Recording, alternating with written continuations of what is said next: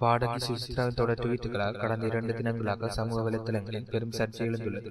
பின்னணி பாடகியான சுசித்ரா ஆயுத எழுத்து உள்ளிட்ட படங்களை சிறிய வடத்தில் நடித்துள்ளார் நடிகர் கார்த்திகை திருமணம் செய்து கொண்டுள்ளார் இந்நிலையில கடந்த பிப்ரவரி இருபதாம் தேதி அவர் தனது அதிகாரப்பூர்வ ட்விட்டர் பக்கத்தில் காயம்பட்ட தனது கையின் புகைப்படத்தை பதிவு செய்து. இது தனுஷ் கூட்டத்தின் மோசமான ஆட்களால் ஆன காயம் மன்னிங்கள் நீங்கள் தகுதி இழந்து விட்டீர்கள் என்று குறிப்பிட்டிருந்தார் சுசித்ராவின் இந்த ட்வீட்டானது பலரது மத்தியில் பெரும் சர்ச்சையை எழுப்பியது உண்மையிலேயே சுமித்ரா தான் இந்த ட்வீட் செய்கிறாரா? அல்லது அவரது ட்வீட்டர் கணக்கு சமூக விரோதிகளால் முடக்கப்பட்டு அவர்கள் செய்யும் சதி வேலையா என பல கேள்விகள் எழுந்துள்ளது.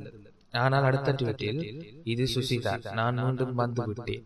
நான் பாதுகாப்பாக உள்ளேன். தனுசனிடம் ஆடிய தரக்குறைவான விளையாட்டை பற்றி அனைவரிடம் கூற தயாராக உள்ளேன் என்று ட்வீட் செய்துள்ளார்.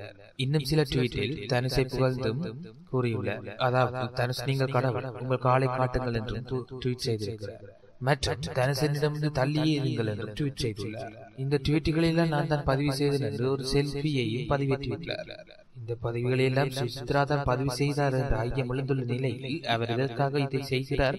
அவருக்கு என்ன ஆயிற்று என்ற ஒரு கேள்வி இன்னொரு பக்கம் எழுந்துள்ளது இதற்கெல்லாம் சுசித்ரா தான் நேரில் பதில் சொல்ல வேண்டும்.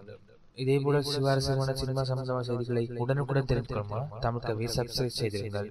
நன்றி.